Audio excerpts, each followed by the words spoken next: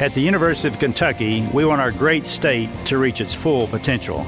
Through investments in education, healthcare, and economic development. We're working with educators across the state and making breakthrough discoveries in medicine.